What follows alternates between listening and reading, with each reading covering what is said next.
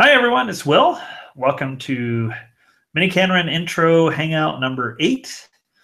Last time we uh, got our first introduction to the Mini miniKanren core language. We saw that there are three operators, equal, equal, fresh, and conde. Plus that there, those were the logical operators, and plus there was um, an interface operator between Scheme, which is our host language for this implementation of Mini miniKanren, and Mini miniKanren itself a logical language. And that interface operator that we're using is run. And run can either take a number, like run five if we want it, most five answers back, or it can take an asterisk, run asterisk with no space between the run and the asterisk. And that means give us all the answers back. Okay, so that, that was the language we saw. Uh, I think we'll see a little bit more today. We're going to add at least one more constraint there that turns out to be useful. And I think today, um, maybe the main focus is still on trying to take scheme definitions, scheme programs, scheme functions, and translating them into miniKanren, and going through those steps so that you can do that on your own and you know try try to understand what's going on when we do that conversion and what happens when we run these programs a little bit. And when we get into the implementation of miniKanren, I think that'll also help, uh, at least with understanding what's happening. I'm not sure understanding the implementation of miniKanren really helps with writing miniKanren programs. We'll also see another way once we get to the relational interpreter of turning a scheme program into a relation. It's a very different way of doing it. Uh, it turns out in some sense it's much easier, but it has trade-offs just like anything else. So, uh, so today we will continue writing scheme definitions in Cameron are translating them. So let me share my Emacs. Okay. So I have uh, I've added the code already for uh, the Hangout 8 code. And I'm also uh, you know starting a new file, hangout8.scm or hangout-8.scm. So I've loaded the files already for faster miniKanren. Um,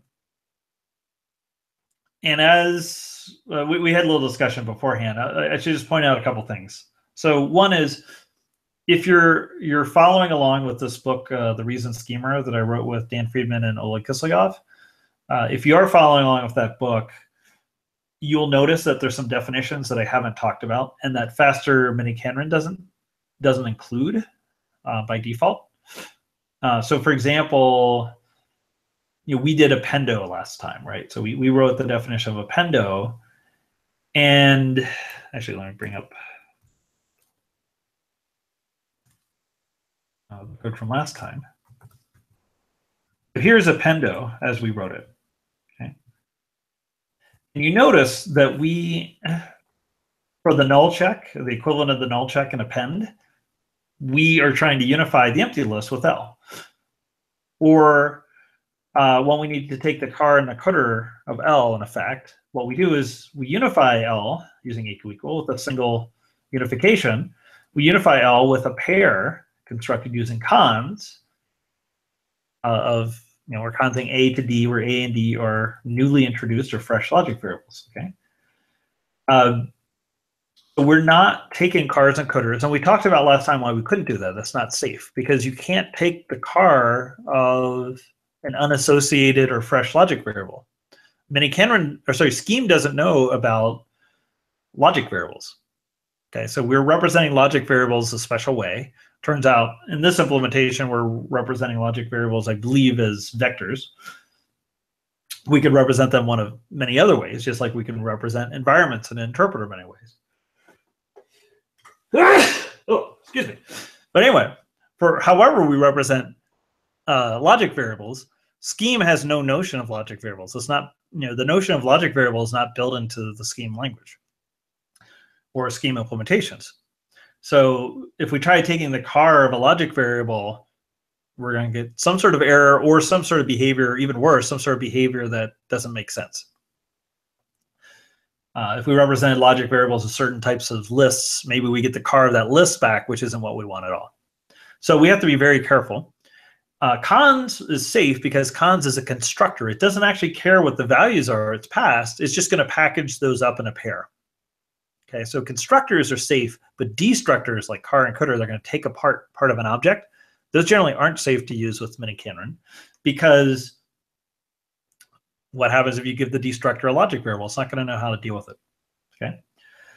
So anyway, uh, if you looked at the actual definition of append and scheme that we started with down here, you can see that uh, in the recursive call, we're taking the car of L and we're taking the cdr of L, and we're consing together the car of L with the recursive call, you know, that kind of thing. And this uh, unification, the single unification of the cons of A to D to L is the same as both car of L and the cdr of L together. Okay, this is like like doing the two operations simultaneously because now A becomes associated with the car of L, D becomes associated with the cdr of L, and furthermore, this works even if L is a fresh variable.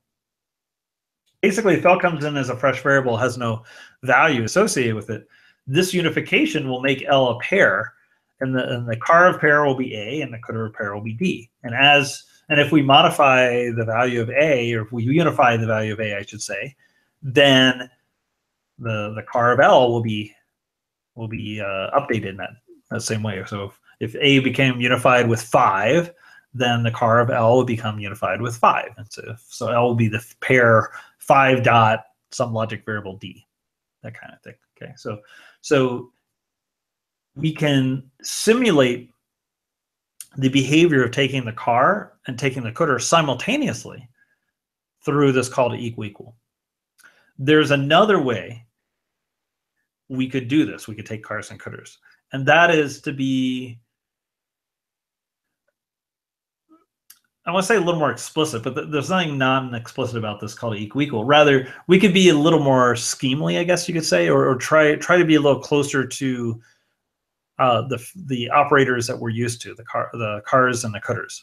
So just like we have append turns into appendo in miniKanren, what we could do is we could uh, define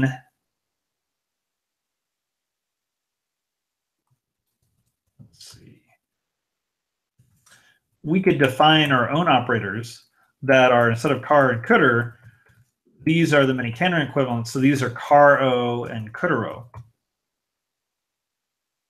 So remember, by convention, the names in miniKanren usually end with an O. Okay, so car O could be the equivalent of car, cdr O could be the equivalent of cdr, and we could even have a conso,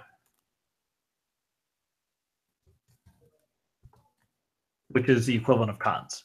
And if you look at the Reasoned Schemer, you'll see that we have these definitions and that we use them in the book. Uh, and I'm, I'm of two minds about this. In some sense, this is like a nice, gentle introduction if you're familiar with Scheme.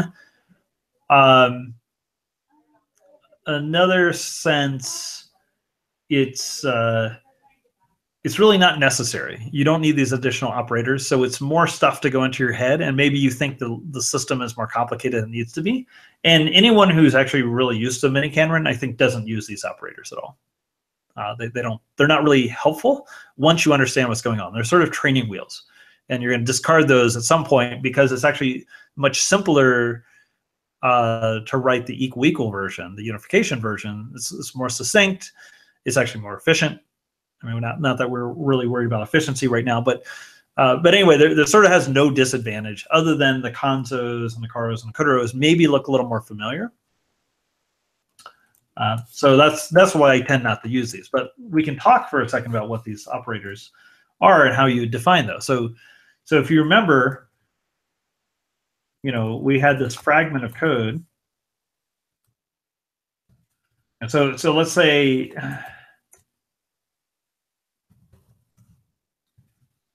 we have some list L coming in. So we got some function that takes a list L, and it's going to introduce fresh variables A and D, and we're going to unify A and D with L. Okay, so this this is very similar to that code fragment we saw.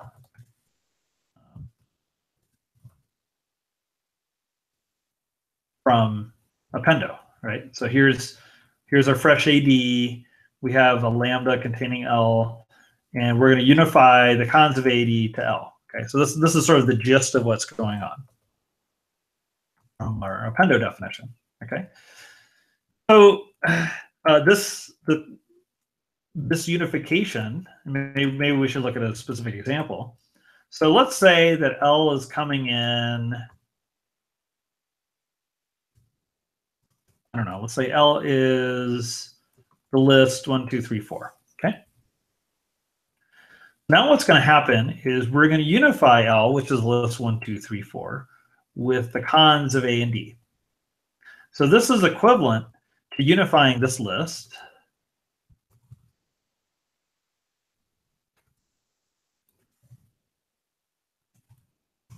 with cons AD, right, which is going to be a pair. If we think of it that way, then, you know, sort of, sort of the way I, I would might write it, sort of more advanced mini-Cantorany would be like this. So, so we have a pair, and we know about backquote or quasi-quote and comma and what those do. Um, and we're unifying it to this list, right? And we know what lists are. We know that lists are really pairs. Okay, so this list one, two, three, four is really the pair one dot list two, three, four. That's really what the list one, two, three, four is. Now we can see that we can just kind of line these up. So the A part becomes associated with one, right? The car or the car of this list is just one. So A is going to become equal to one through the unification. Whoops. So A is going to be equal to one. And D is going to be equal to the cdr, which is the list two, three, four.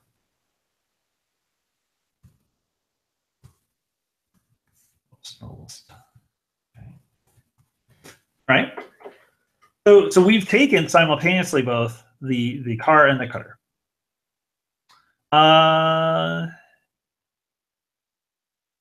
okay, so so with that in mind, we could think of what if we wanted to take this fragment of code and turn this into an explicit definition for like caro, let's say, okay?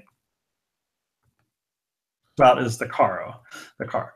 And so what is what is it going to look like? Well, car,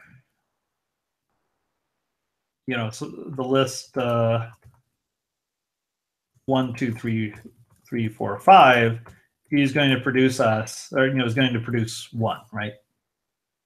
Okay, but Caro is going to behave a little differently. Because Caro is now going to take like an out argument. Appendo did. It's going, to, it's going to now be a relationship between different arguments. And now basically what, what's going to happen is, is we're going to unify out with the car.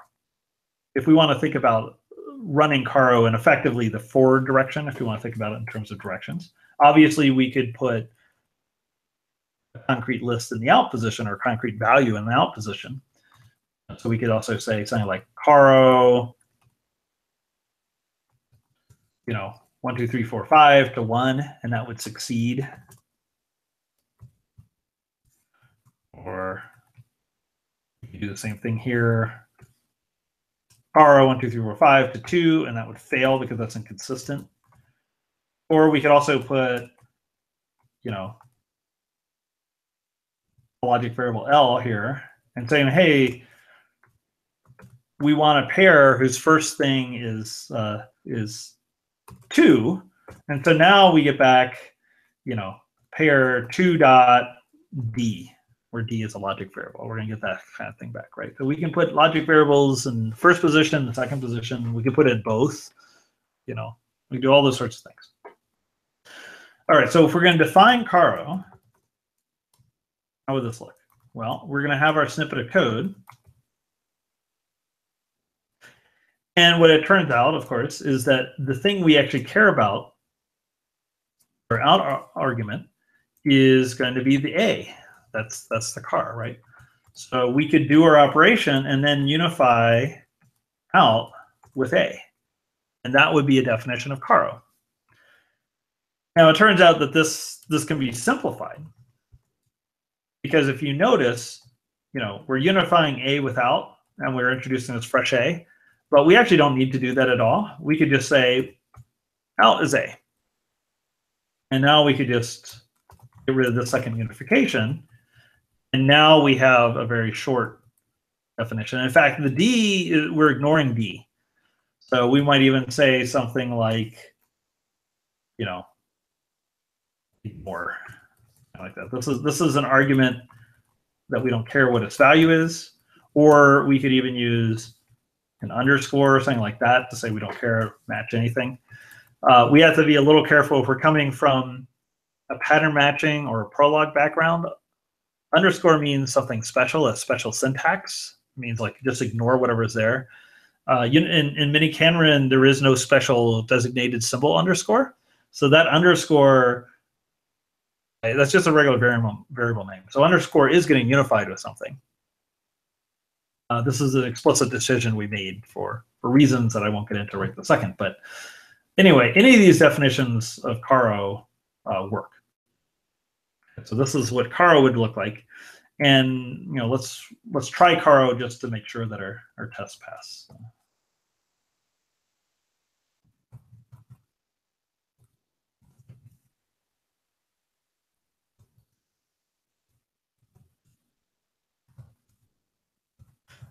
Okay, is caro defined? It is not, not than a cannon. I can define it.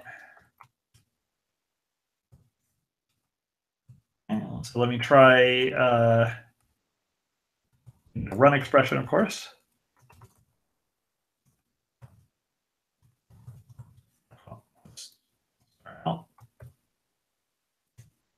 Okay, out is one. That's right. And I had another one where I should succeed, should fail. Uh, let's see. Oh yeah, I was going to uh, make that list L. Turn out if we get a pair whose first thing is two, you know, the car is the pair is two, and the cdr is some fresh logic variable. Okay, so all that works. So this is our definition, you know, of caro. It works just fine. Um, we could do exactly the same thing you know, with cdro. Find cdro just as easily. In this case, it's going to be L to D. And basically just swap those and make that B. So that's what cdro is going to be. It's the same idea. So now if I take, uh, you know, the cdro, that, now I get the list two, three, four, five back. Okay. So cdro behaves the way we'd expect. And that also, you know, we can put variables wherever we want just as well. And I guess you know, one, one of the things I just wanted to point out, though, was if we are going to do this,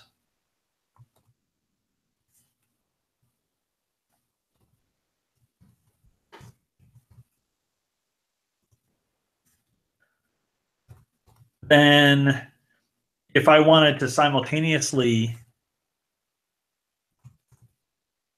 get the car in the cdr of L, what I now have to do is car of L is A. cdr of L is D. Oops. Uh, yeah, put my L in. Okay. So the first argument is L, and then you can see the, the car of L, and then you can see the Coder of L. Uh, so so I, I, you know that's that's fine. It works just fine. But I could do the same exact thing with a single unification.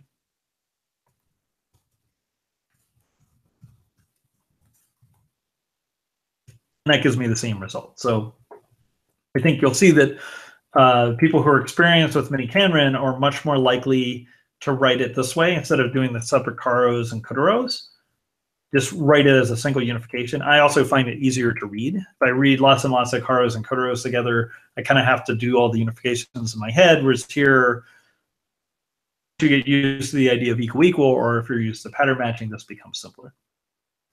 Okay, so there's another operator that you will see also in the Reasoned Schemer, which is conso. Okay, so just like cons uh, five on the list six seven and get five six seven. You know, we might want to have a relational version of console. So what would that look like?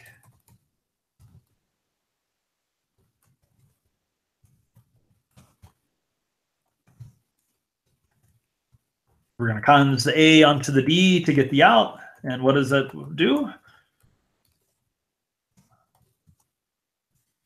It's just that. There's a single unification.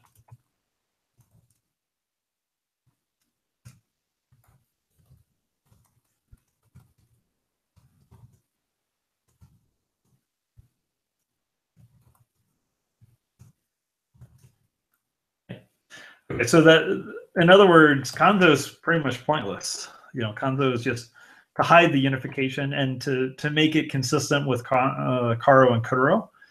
So, so these really are, in a sense, training wheels. These are trying to get trying to get you over the hump of thinking about you know scheme definitions versus miniKanren definitions, and it's it's just to try to to make it a little easier for you.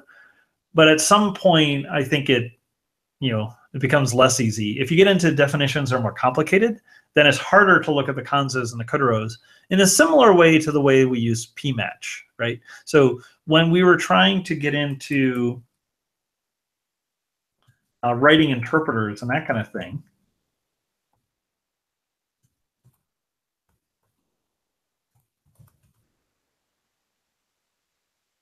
Here, here's our eval expr and with the val expert, we had lines for lambda, let's say, right? So here's here's the lambda line, and and we have this this pattern, which is, you know, it's a list lambda, and then that has a sublist containing a symbol x, should be a symbol, and then body. And if we wanted to do more complicated versions of lambda, or here we have letrec, and uh, now the guard is kind of complicated, and you know, if we got into full scheme, we'd have all sorts of quite complicated uh, versions of the pattern matching. Not super complicated, but but the point is, you don't want to be doing all of this in terms of car and cdr and and equal. You know, so so this test would be if we were doing this explicitly, just using car and cdr and equal would be like, okay, well, first thing you have to see is is this a list? Is it a proper list? Or you have to start tearing it down a little bit. Is it a pair? Is the car of the pair the symbol lambda?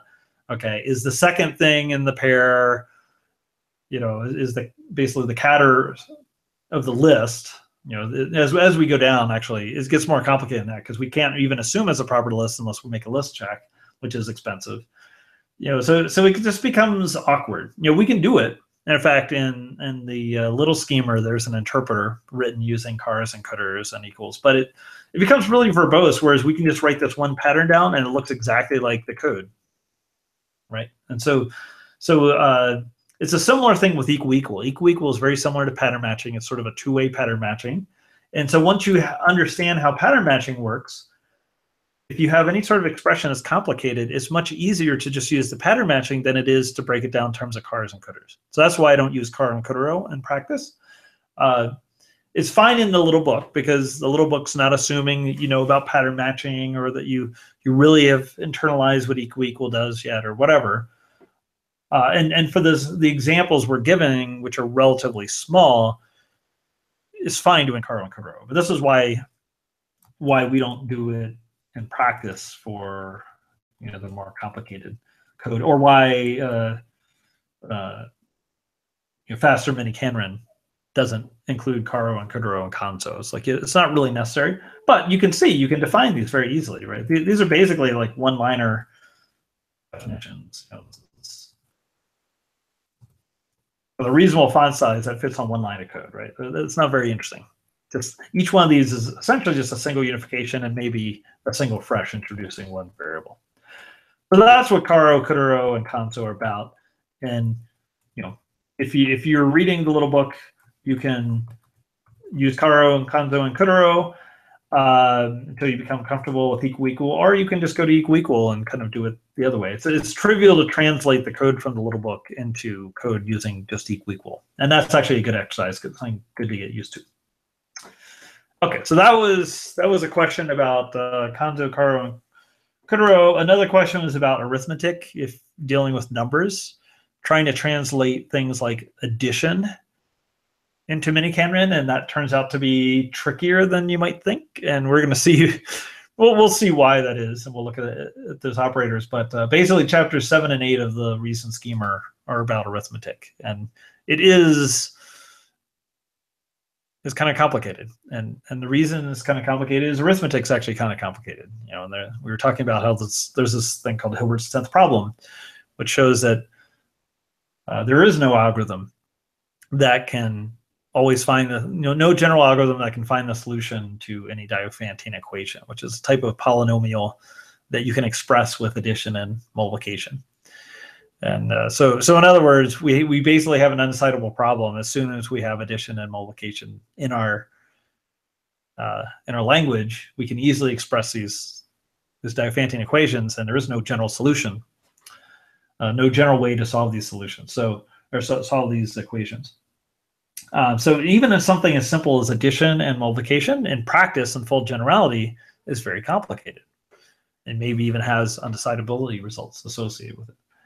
Uh, so don't be don't be surprised and don't be overwhelmed if something like arithmetic turns out to be much trickier because now we're in this much more general setting than you normally have when you're just programming in in Scheme or Java or Haskell or whatever, and you're just used to all of the numbers being ground and all these other sorts of things. You know, not that you can't, not that you can't express uh, Diophantine equations in Scheme because we are through miniKanren, we can express those.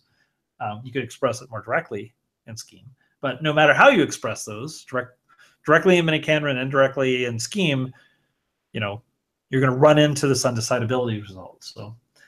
Uh, there, there are other issues with arithmetic we'll get into. uh, okay, so let's take a look with that with that described, you know, conso, conso, and all those definitions, by the way, are in the Reasoned Schemer if you want to play around with those. You just type them in, add them to faster miniKanren. Uh, with that out of the way, let's take a look at our friend member. Let's look at member. Okay. There's also a definition that's in the book. So let's try scheme. What does member do?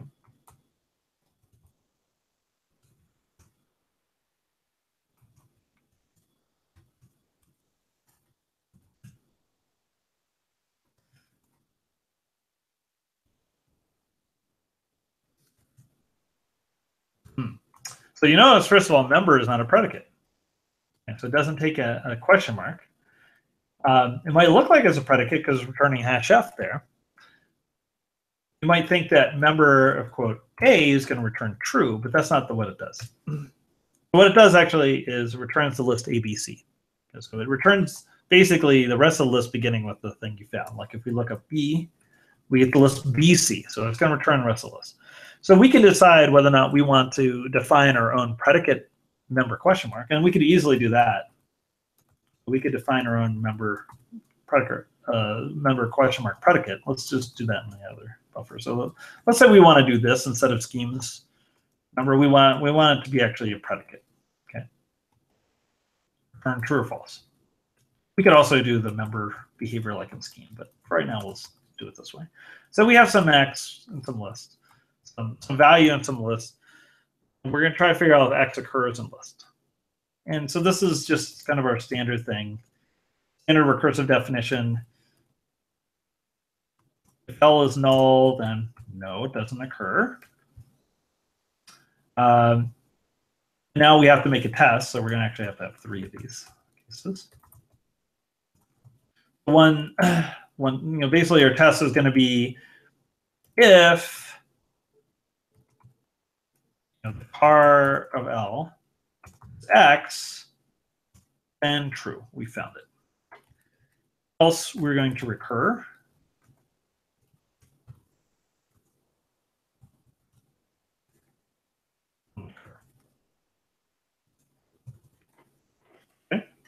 And so this EQV thing, I could also use equal. Or if we restrict this to symbols, we could use EQ. So, so Scheme has different notions of equality. We're always safe in this case to use equal. EQV is sort of similar in spirit. I'll, I'll use equal just to make it simple. Um, anyway, so so this is a definition of member, and member huh or member question mark. That's going to give us true or false. So let's go back to the REPL, define it, and now we can do member question mark. Instead of getting back a list, we get true. And if we put in something that's not in the list, we get back false. Okay. Let's try translating member question mark into miniKanren and see what that would look like. We're going to do membero, let's say. I guess you could technically do member question mark O, but that doesn't seem very classy.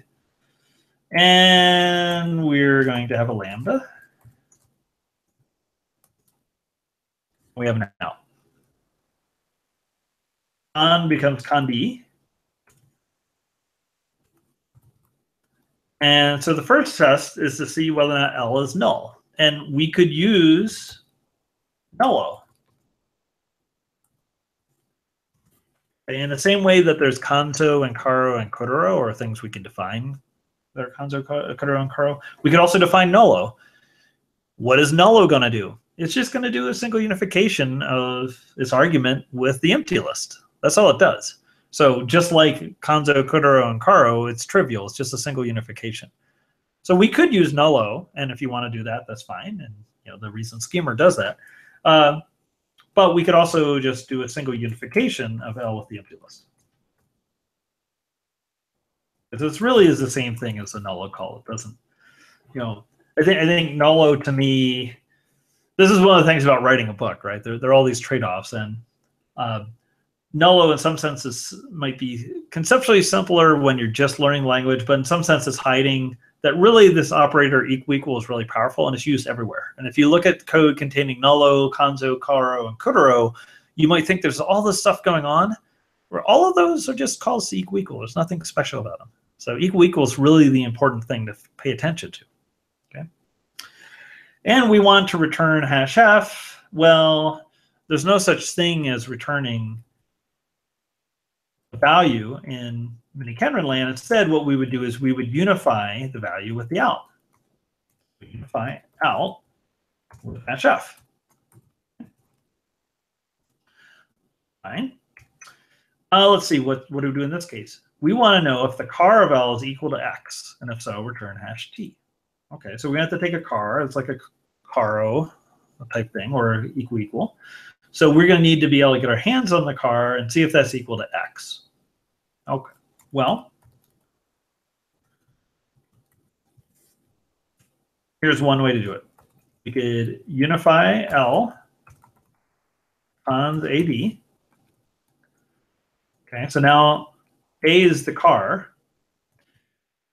And now we can see if the car is equal to X. And if so, a little smaller. If so, we're going to return true.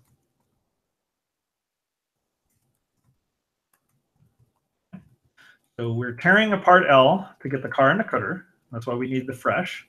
We actually don't care about the cdr, but we'll, we'll, we'll fix that up in a second. And then we're going to check to see if A and X are the same thing. This is like our call to equal. So we could also have an equal low. But once again, that's just a call to equal equal. We could have a special return O.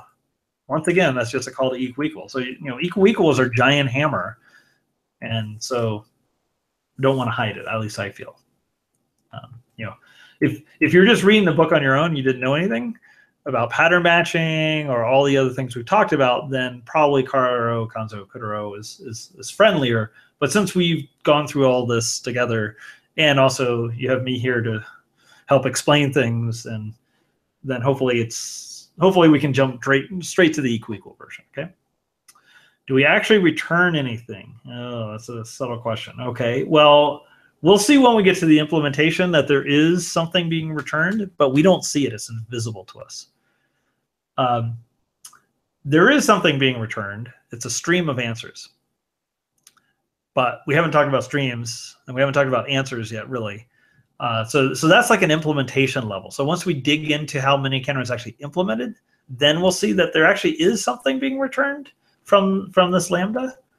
But uh, it's sort of the user level. As, as someone writing miniKanren programs, I don't like to think about the implementation details. I want to think higher level and just say, okay, we have this out argument that sort of represents what used to be returned, and I'm just going to have to unify some value with it every in every clause. Yeah, we talk about returning and we talk about out. So when we talk about returning, that's in the scheme world. So here's in the scheme world, right? So in scheme world, and here's the miniKanren or relational world.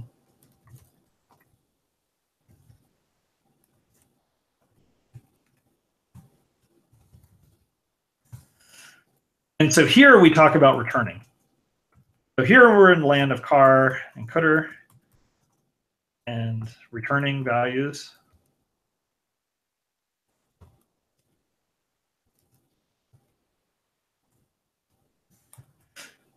And here we're in the land of equal equal. And tons is also allowed. And associating values without. So we, you know, whenever I talk about returning a value, I'm talking about the scheme equivalent. So we're going to return hash t, we're going to return hash f. And as soon as we go to the relational world miniKanren, we're not returning anything. I mean, under the hood we are, if you look at the implementation, there's a value being returned, but we're not seeing it. So, so it's not like we're returning, um, you know, hash t or hash f. Instead, we're associating through a call to equal equal through unification some value without. And the value itself could be a logic variable. I should really use probably term. Term is more general thing. It includes both terms of more general uh, term of piece of vocabulary.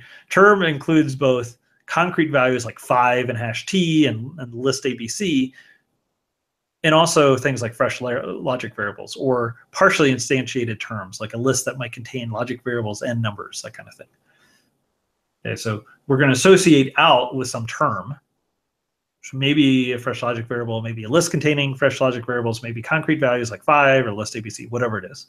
Okay, so now we're not returning values, we're associating an argument with out. Okay, that's yeah. You find the out the name out misleading. Uh, it is sort of misleading, right? It's it's this really is um, always going to be hash t or hash f in this particular case. And so out is once again sort of a cheat. It's a way of, of thinking about the miniKanren relation in terms of the scheme function. And so out really is, a, is kind of a naughty word. You know, so so when we get to the evaluator, we're evaluating some expression in some environment, and then we could say the third argument is out, but really the third argument should be called val. It's the value of the expression, right? So it really shouldn't be called out. And so out is kind of misleading here. Let's see, what would be a better name for it? We want to know if X occurs in L, and this is more like this is more like the flag, or you know, does it occur or something like that? I don't know how, how to call it. Um, that's the other reason is that you know naming can be hard, and so I'm not sure what to call it because when we write member question mark, we don't really have a name for the out right? It's just this return value. So this is sort of the return value of out, except now we're being a return value of member question mark, but now we're being explicit about it. So we have to come up with a name. Result. Yeah, we can call it result, but that's all. Yeah, you're right. That's also misleading because because maybe we know what the we maybe we know it should be hash t, and we're trying to actually infer x, right? So maybe x is the result in that case. So I don't have a good name for this um, left, uh, you know, appendo, left, right, both. So appendo, you could say uh, ls and then ls, that would be a good name for appendo maybe. So yeah, so if we go to appendo, um, let's see. If we want to have a better name for appendo, we could do something like ls and instead of out, ls. Or, you know, concat. I guess this is the concated version or something like that. Like I guess L plus uh, or L plus S because we can have that identifier in a scheme. You know, we could do something like that instead of out. That maybe would be more appropriate. And you know, when when I do try to define more sophisticated relations, you know, I, I very much try to try to come up with names that aren't out. So if we look at, you know, inside faster miniKanren, there are these interpreters here's an interpreter. And if you look, you know, here's a valo, here's a valo. None of these argument names are out. That here we're, we're associating an expression, an environment, and a value. So this is what we're currently calling out. Uh, let's see, do we have anything called out? Okay, so here's one where I wasn't sure what to call it. Here, here we're extending an environment in a certain way, and I'm calling it out. That's that's really the extended environment. That should be like that should be like X in for something. About that'd probably be friendlier. Um, but once again, this is just a convention. So when you're reading the code, you know about this out convention, but um, that usually tells you that that's you know if you see out, that's that's a that's probably a pretty good sign that you know, either the person was lazy and didn't want to think about a name or didn't know, have a good name, or this is a direct translation from scheme code. You can break conventions. That's right. That's right. All right. So we're going to de-outify. I'm, I'm willing to not call anything out, but you have to help me with the names. All right. And we'll see. We'll see uh, if you end up going back to out again. so you have to give me a name for the out argument. Give me a name for an out argument that's good, then I'll I'll change it.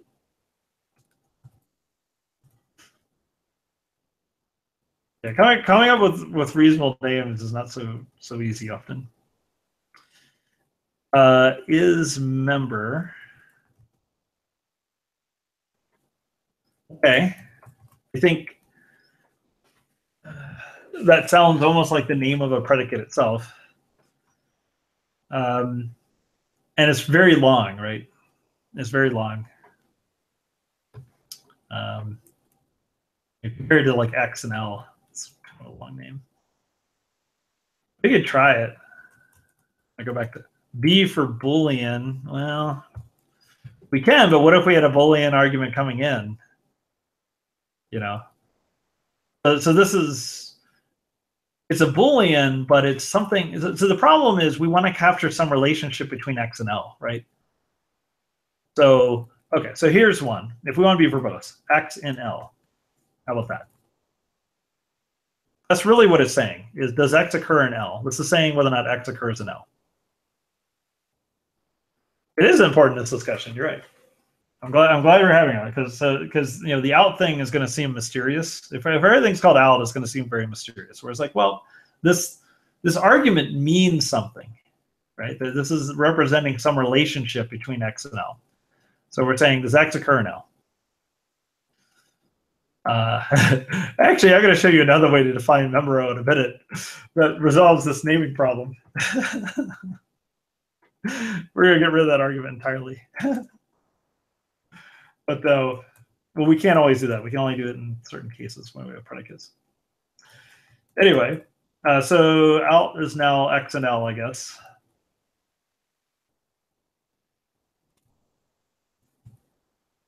Until unless uh, we come up with a better name.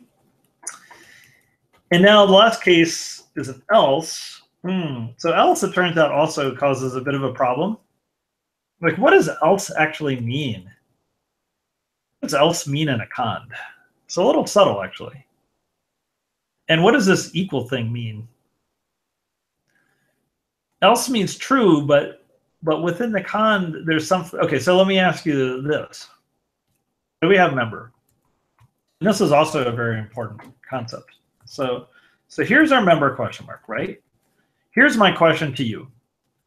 Can I just reorder these clauses any way I want and have the function define, you know, behave the same way. Does reordering preserve the behavior in scheme? Yeah, using cond. No, I can't. Why can't I? Why can't I do it? Well, so if, if you said else is true, well, then I can replace else to be hash t, right? Time, okay. Well, okay, so so maybe there's a notion of time, or or at least maybe time. Uh, maybe I might not use time, but there's certainly a notion of some things happen before others, right? That we're doing we're doing these things like in a sequential order. We're trying the tests in a sequential order, and the last test, the the else test, happens after two other tests, and so those tests we know have already failed before we try the else. So we already have some additional information. Whereas if I can reorder them any way I want, about the other two tests with relationship to the, my current test. Okay. So I can't just reorder things in general in terms of member. In fact, you know, let's see what happens if I try this definition of member.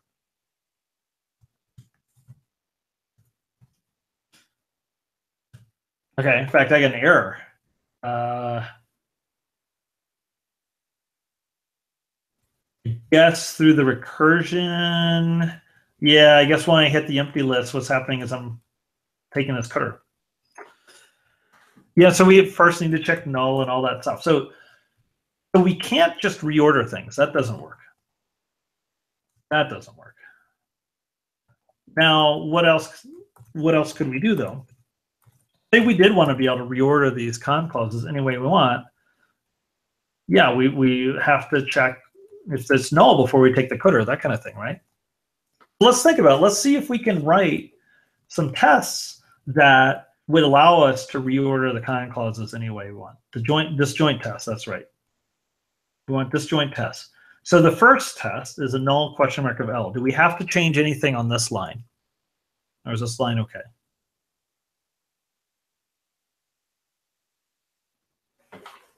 That one's okay. That's right. Because obviously this this first test can't depend on the other two tests, right? The else test or the equal test. Okay, so that test is okay. So we don't have to we don't have to change that one at all. That one's done. Now we move on to the next test. Equal carvel x. Now is this test safe to have come first? Like could I just swap those two lines? Would that be okay? No, why not? Because I can't take the car of the empty list. So I'm being protected or guarded. This clause is, you know, this test is being protected or guarded by the fact that the null test failed when being run before it. So if I want to move this first, I actually have to make that null check again. So what I could do is write a more complicated test.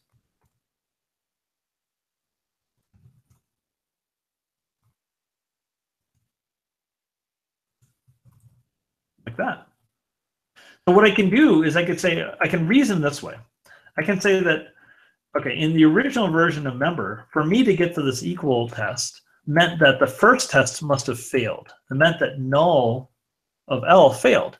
So I can replace, you know, I can I can say forget about that first line. I don't need that first line in the cond as long as I check that the null test must the, the null test fails. If the null test fails and my normal test passes, then I can do the thing I did before. And then that's just perfectly safe. Okay. So that's the game we're playing is we're trying to build up uh, these disjoint tests so that we can reorder our call our calls any way we want, or our, sorry, our uh, clauses any way we want. Okay, so that that fixes the second test. Okay, so we fixed the first one. You know, actually, that was that was like a no op, right? That that one didn't, didn't require any fixing. No operation required to fix that. We fix this version. So now we come down to the else version. Uh, but that's just the same as before. Are you talking about this and one? It uh, well, oh, or are you talking about the null one? Okay. So now we have this last one. Okay, so the first thing is syntactically, we can't reorder things because else, you know, else doesn't make sense syntactically unless it's in the last, the beginning of the last clause. So we're going to have to, you know, replace else with hash t. Else is the same as having hash t. That's always true. That test is always true. But now we ask, okay, is this test, uh, you know, are, are we safe? Hash t means it always happens, right? So that means that if we were to reorder it and make it come first, for example, that we always run this line within the cond. So we're always going to choose this line and we're going to ignore the others. So that clearly isn't right. That clearly cannot be right. So instead, we're going to have to fix this test and we're going to have to, you know, include the, the tests from before. And we're going to play this game of basically we have to make sure that the other tests fail. We have to make sure the other tests fail. So, so if I really wanted to be pedantic about it, I would say, okay, so the first, you know, let, let me go back to the um, original ordering here. Or may, maybe I should look at this one. Okay, now let me, let me look at the original definition. That's probably easier to understand. Okay, so in order for me to reach the third clause, we know that the null test had to fail. So and not null. And secondly, we know the SQL test had to fail. So not of that. Okay. If the first test failed and the second test failed, then we can run this, then, then our hash t. I mean, if we really want to be pedantic about it, we can say and hash t, right? And so that's our test, but we can optimize it because hash t is always true, so that's that's not really necessary. I'm claiming this is fixed now. So I'm claiming that we can now reorder these clauses any way we want, and we'll get the same behavior for member. It won't make any difference. So do you believe that claim? I can reorder any of them. I can reorder all of them that I want.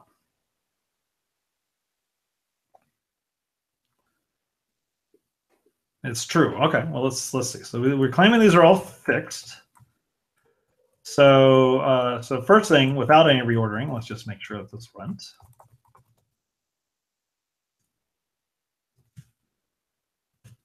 Okay, that worked. Okay. Now let me try reordering this. I don't know, I'll make the last clause come first, I guess. I'll just reverse the ordering right now. So I, I just reverse the ordering. So, so the last clause comes first, so the first clause now comes last. Okay, so I'm gonna find it. Still works. Still works.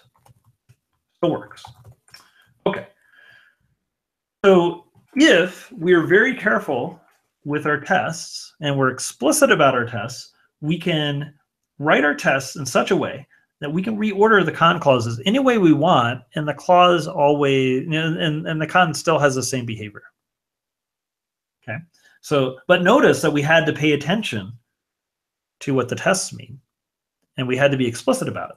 So really that else, what we learned is that that else really means that the other tests failed. The else is the same as, you know, this was an else before. We had to replace the else with and not null of L and not equal car of L to X.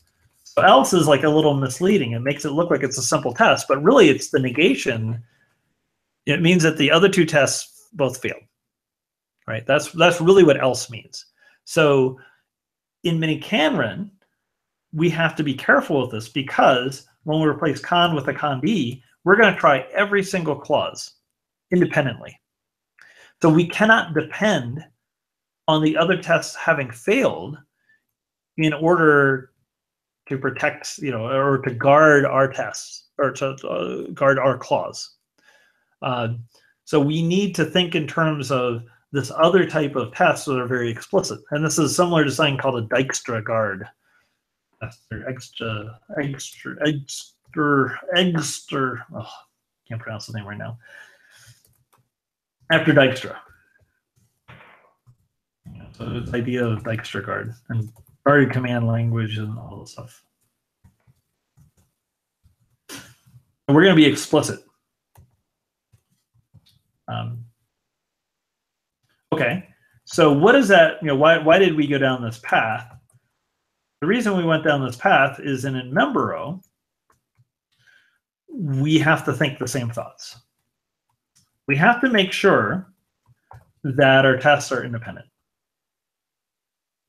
Um, so let, we'll come back to the second one in a minute, but in particular for for the last tests where we had um, see, do I have a version that has else still? Yeah, here's the else version. So here is our original version of member, and we're translating this into membero. Henry. And with that last clause, that's like translating the else clause, okay?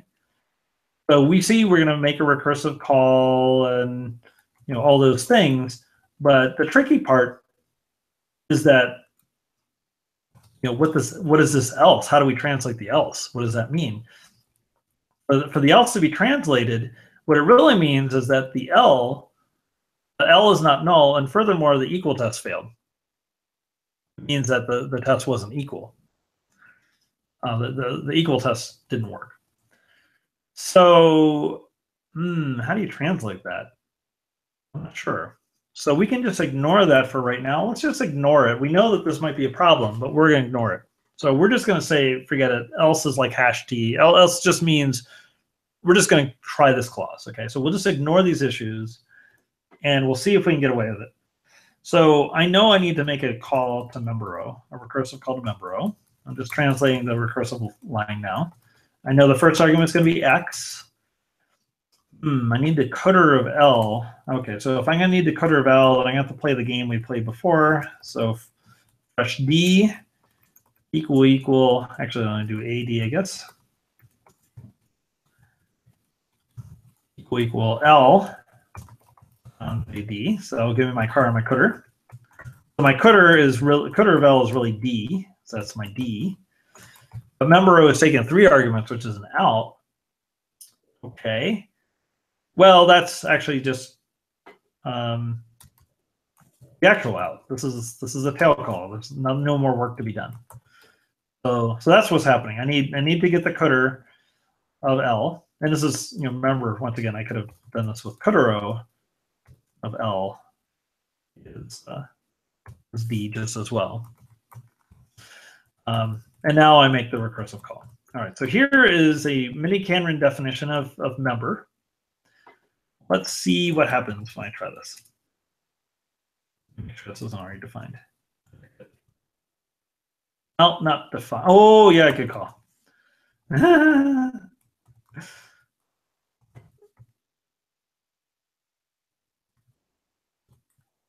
we go. Yep, old habits do die hard.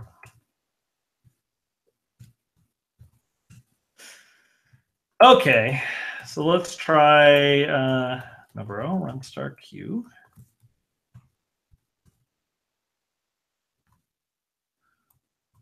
Naming things is hard. Remembering that you name things is even harder, apparently. Okay.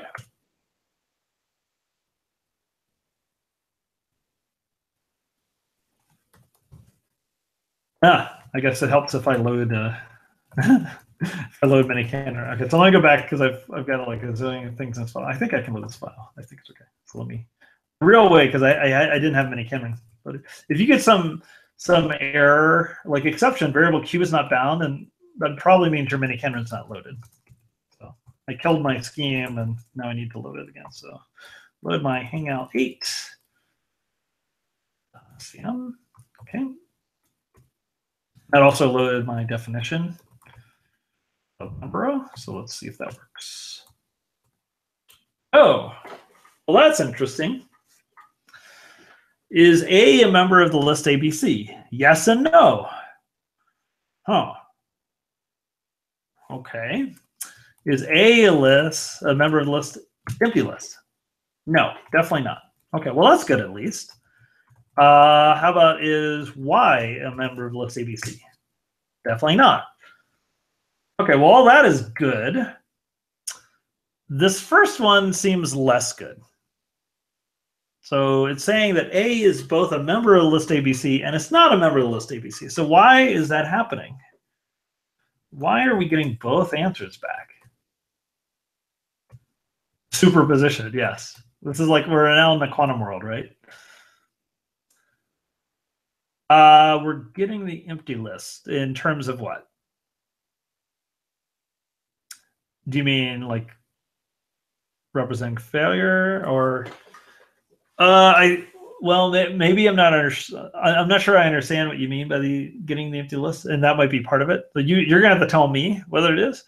Um, there's another cause. Okay, let me put it this way.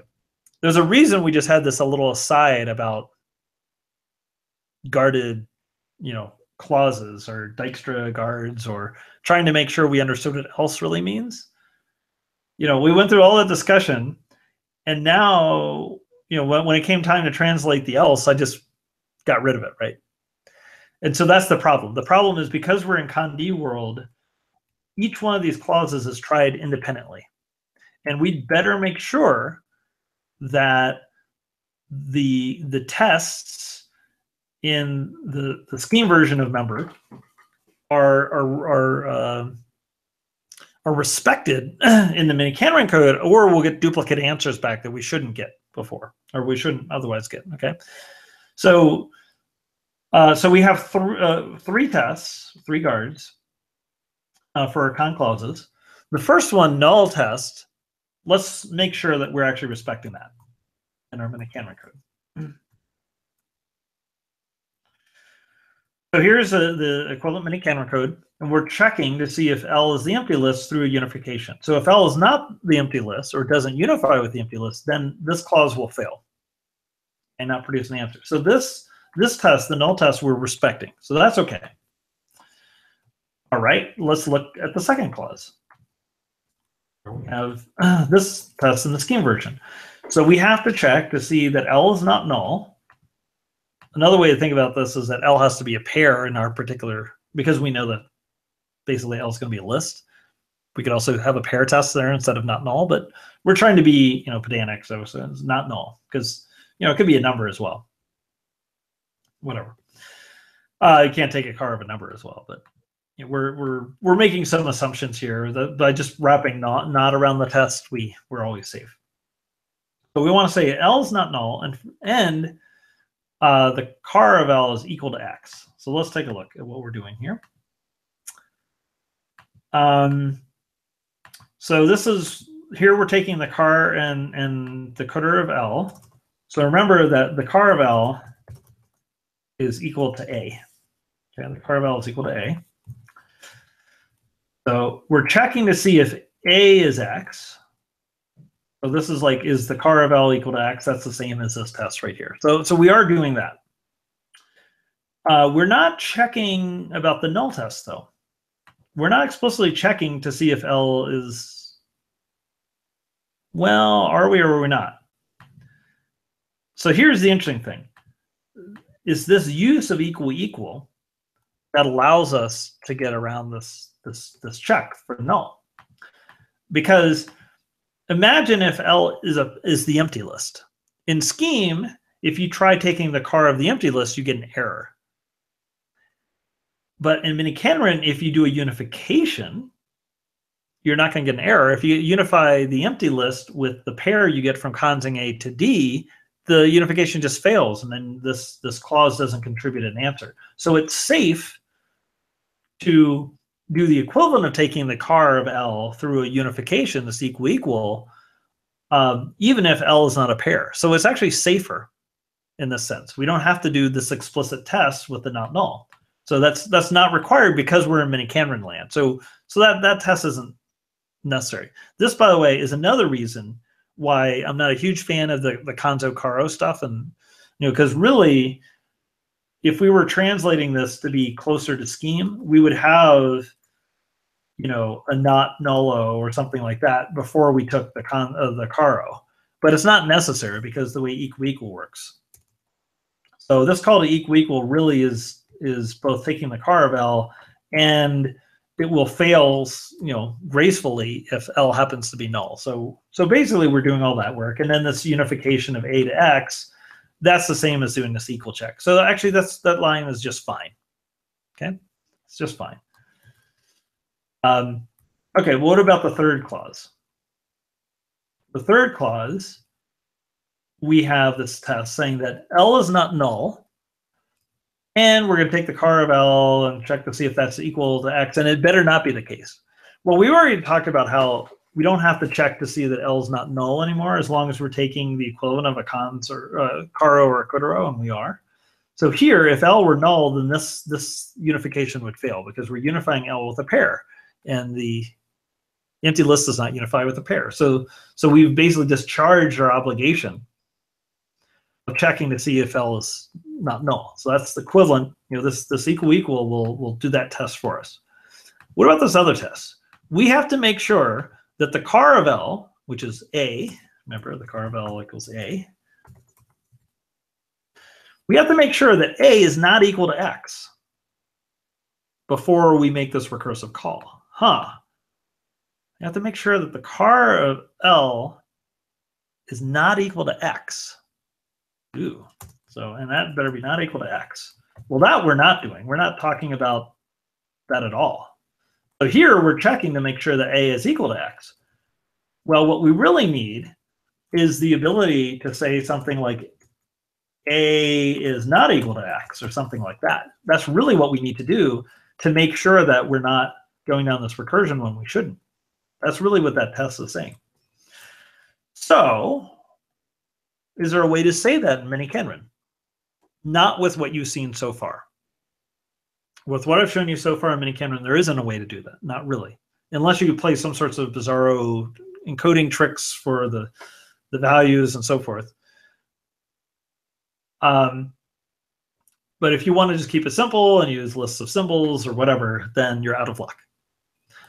So we've added an additional operator or constraint called a disequality constraint.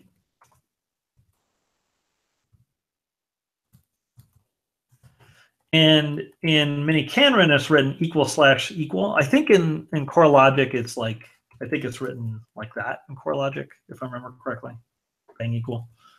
Uh, but we write it equal slash equal. So, so it's sort of like a unification with a, a slash written through it to say, hey, no, these things um, are, are, are different. Uh, so the disequality constraint uh, will make sure that A and X are actually different from each other or could be different from each other. And then it should be safe for us to do a recursion. Okay, so let's let's try it this way. Let's see if this works. With my scheme. Definition. Okay, so where were we getting? We were getting multiple definitions for this one, multiple values back from this one. Okay, let's see if that and now we get a true, but no more falses is what we'd want. Uh, what about B in behavior? What about Y, which doesn't occur in the list? Nope, definitely not. Um, and for empty lists, A, definitely not. Okay, so now we've recaptured the behavior we want through adding this new type of constraint, a disequality constraint, saying A and X are not the same, they're different. Uh, so this means the unification of x with a has to fail. That's a good question. It does not mean that. It does not mean that. It's a little more subtle. Uh, and in fact, disequality constraints are something where, where people often get a little confused on how exactly disequality constraints work. So let me let me talk about that for a minute and give some examples. Let's just do some disequality constraint examples. Okay, so we know about equal equal, right? So we can unify 5 and 5, for example, and that succeeds. And we can unify 5 and 6, and that fails. And we can unify 5 with the variable q, and that succeeds and associates q with 5. Okay, so those are just a few basics. So let's try doing similar things with disequality constraints. So we can say 5 and 5 have to be different. Well, we violated that because 5 and 5 are actually the same, so it fails. That's why we get back empty list. Okay? So 5 and 5 are different. 5 and 6, are those different? Yes. Okay, so that should succeed because they're different. And it succeeds, sure enough. What about 5 and q? Now we get back a more interesting answer. So we get back a special answer that has a side condition. We haven't really seen these side conditions before. So this is a single answer.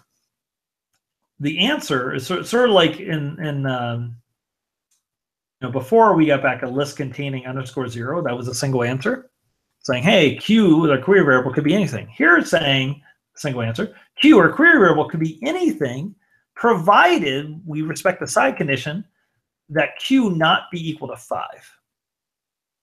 Okay? q not be equal to 5. Yeah, the non the non-unification has to succeed. Okay, so where does this become different? Well, okay, so we could also do uh, something a little more complicated. What if we had x, x and y as our query variables, right? Now I can say x and y have to be different. So I could try unifying them first. What does that mean if I unify x and y? Well, it means that the answer I get back says that x and y have to be the same. That's why we see the same numbers, underscore zero, underscore zero. Because remember, if I did something like five and five, now the numbers are different. So x can be anything, y can be anything. They don't have to be the same thing. x and y up here, when we unify x and y, they have to have the same value. And so, you know, in particular, if I unify y with five, they both become five. x and y both become five. Whereas if I don't have the unification of x to y, y is 5 in this case, but x could be anything. All right, so let's think about what happens when I do the equivalent with this quality constraint. So now we're saying x and y have to be different, but we haven't said anything about what x is or what y is. So when we get the answer back, uh, let me just show you once again what it looks like when I'm saying they're equal. Okay, so x and y have the same. Here I'm saying they're they have to be different. So what is my answer? This, this once again is one answer. We have a list of answers. This is one answer. Let me pull that out. So that's the single answer. The first part of the answer is basically what we would get back if we didn't have a, a side condition. Okay, so this is kind of the answer part right here, which is the list underscore zero underscore one, what's telling us what the values of x and y are. And then the second part of the answer is like the, the side condition answer, I'll call it. Okay. So this is like the answer part. And this is the side condition. So for the answer to hold or to interpret the answer correctly, you also have to respect the side condition or keep the side condition in mind. Here, the side condition is a disequality constraint side condition. We can have other types of side conditions we'll see. Uh, but here, what we're saying is and this once again is a list of, of values. Uh, we're saying that the first variable and the second variable have to be different. So to make it a little easier to read, we can think about you know this in terms of x's and y's. Right. So this underscore zero is really x, right? The variable x, and this is really y. So let's think about this in terms of variables, uh, just to make it a little more concrete. I'll, I'll make them look like this to make them look like not symbols. Okay, so we have a variable x and we have variable y. So when we say, give us all the answers back this query, or, or query variables x and y, where x is not equal to y, we get back an answer saying, okay, x can be anything, y can be anything, provided x and y are not the same thing. Okay, that's basically what the answer is saying. Let's try violating this constraint. Let's say x is equal to 5. So now what happens? Well, now we're saying, okay, x is 5 and y is anything, provided that anything is not, not equal to 5. Okay, so we've our side condition has changed a little bit because we know information about x. And now what happens on one, uh, different lines? Now what happens if we unify y with 5? Okay, so now we've violated our constraint, our disequality constraint, because the disequality constraint is saying x and y can be anything, but x had better not ever be the same thing as y. Now we violate the constraint, and now it fails. And of course, as usual, we can reorder these any way we want. The disequality constraint could come last instead of first. It doesn't matter, it could come in the middle. We always have the same behavior. Uh, so, so really what the disequality constraint is saying is that x and y can never be made to be the same. And if they're always, if they're made to be the same, then you fail. Uh, however, if there's any possible way to make them different, then succeed. So when we get rid of the equal equal y 5, if we think about it this way, this simple version, um, well, could y be 5? Well, it, it, can be anything other than 5 is what it's saying. It could have any value other than 5, and then it'll succeed. So we can make x 6, I mean, y 6, and that's fine. That succeeds, right? And it throws away the constraint because there's no way to violate the constraint. They're different. Um, we can make uh, y the list ABC. We can make y the list 5. That's fine. And it, you know, that's fine. Uh, we could also violate the constraint, by the way, by trying to make x and y the same by unifying it. So here, here we're saying they have to be different. Here we are saying they have to be the same. That's inconsistent. Reorder them, still inconsistent. So it only fails if there's no way to make them different. Exactly. If there's no way to make them different, then it fails. Otherwise, it'll succeed. Okay, so that's different than saying that they don't unify. It's different from saying that they don't unify. It has nothing to do with them unifying. I mean, it, actually, there is a relationship, but it, the relationship's more subtle than that. Okay. Okay, so um, let's look at another example. More more interesting examples are when you have lists containing variables. That, then it becomes more interesting. Uh, so how about like x, y, z or something? So or x, y, z, w or something like that. Um, so here we can say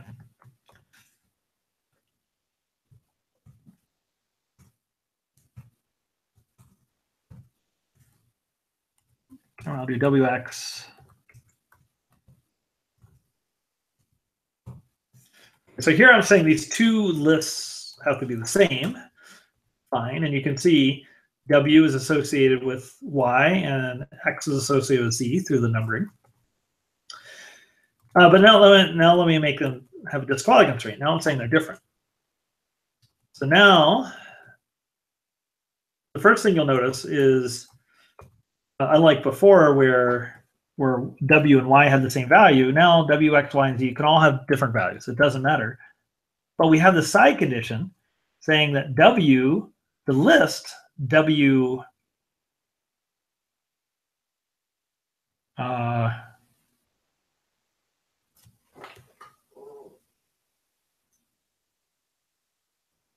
let me make sure I'm reading that right.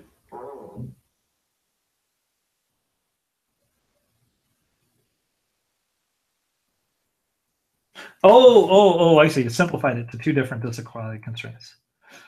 Okay. Um, so what it's saying is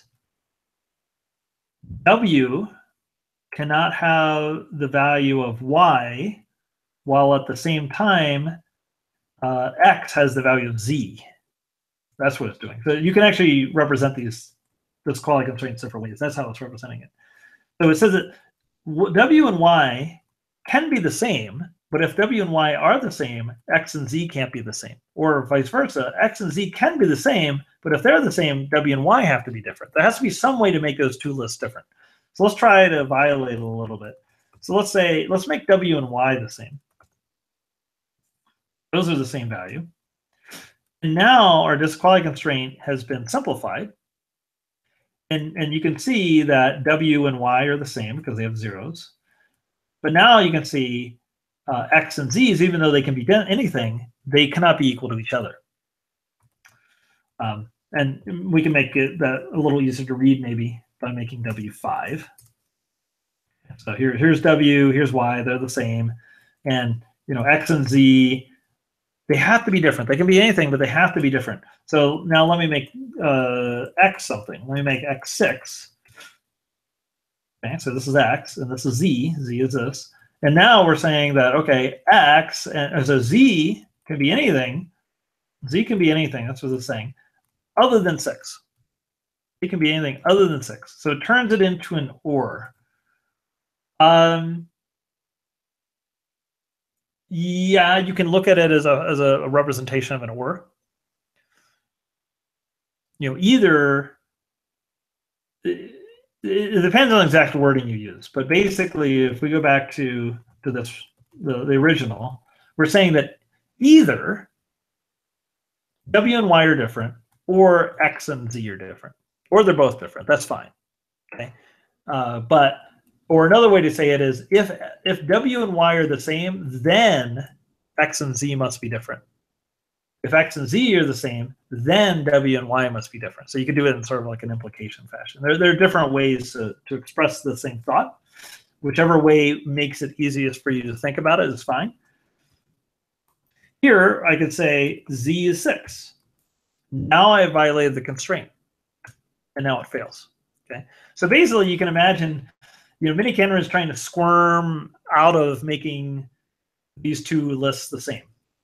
And if there's any way to squirm out of it, it'll squirm out of it and say, okay, fine, there's an answer, provided you respect the side condition.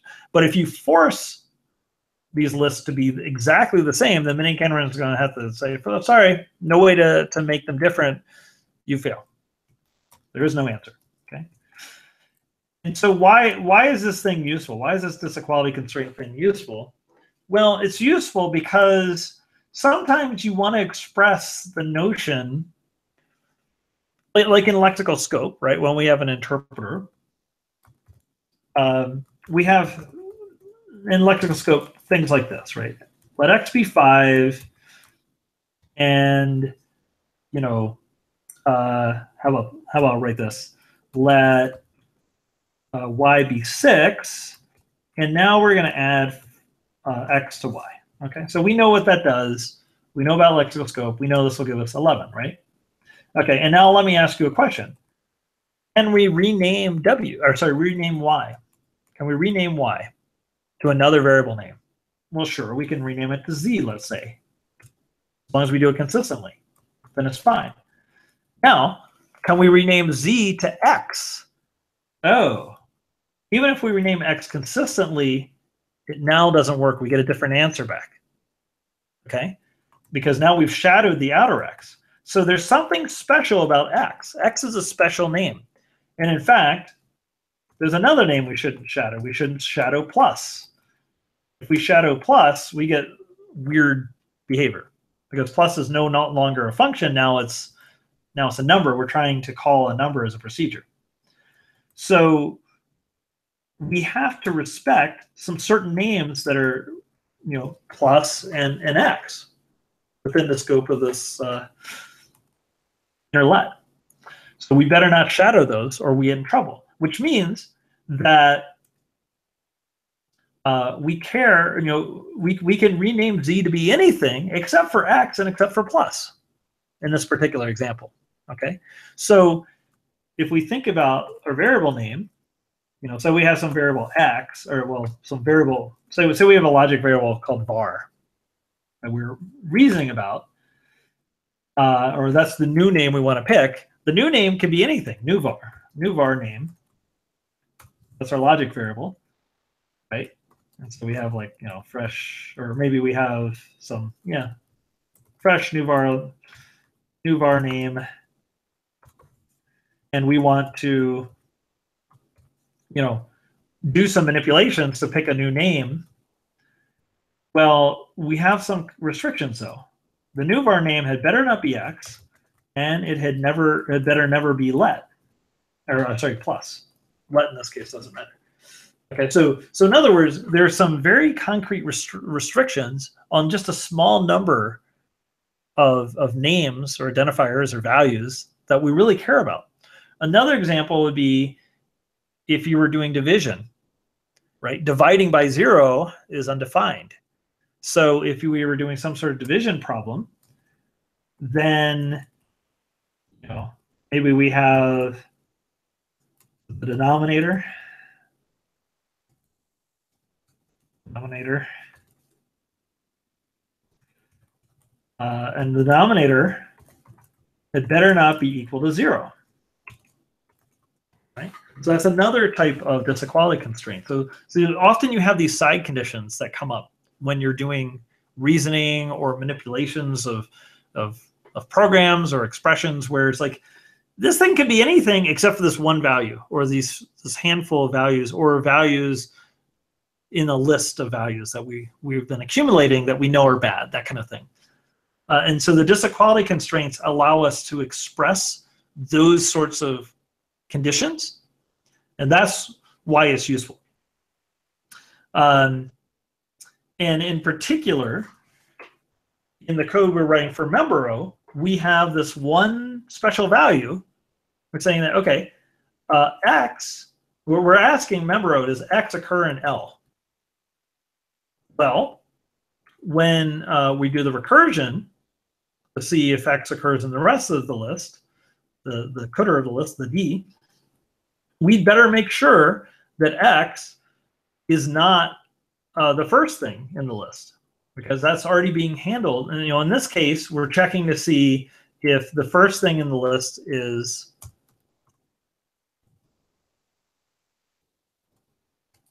is A.